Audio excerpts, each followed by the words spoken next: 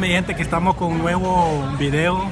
Este les acaba de, les cuento que en Washington DC ya es requisito es regla o se le puede llamar obligación no sé cómo llamarle pero requisito regla que para entrar a comer a un restaurante eh, tienen que mostrar la tarjeta de que estar vacunado gracias a Dios yo la andaba yo la ando en mi teléfono también la ando en mi cartera eh, si usted no muestra la tarjeta en Washington DC no puede entrar a comer. O sea, you can stay inside. No puedes estar adentro si no tienes la tarjeta o no estás vacunado. Pero sí puedes comprar y puedes comprar para llevar. Para llevar dicen que sí puedes entrar, comprar y irte. O sea, tu go para llevar. Pero adentro a comer no. Me pidieron, el día de hoy me pidieron la tarjeta Ahí había una muchacha que no andaba la tarjeta, se le olvidó, dice, y no lo andaba en el teléfono. Eh, le dijeron que lo siento mucho, no va a poder comer adentro, le dijeron, pues la muchacha ya se fue, lo compró para llevar.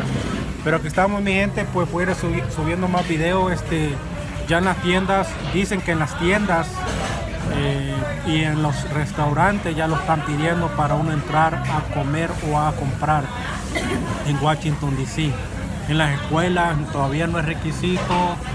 Eh, lo único que requisito en la escuela es que esté el niño negativo para entrar a la escuela porque hay muchos niños que todavía no se han vacunado.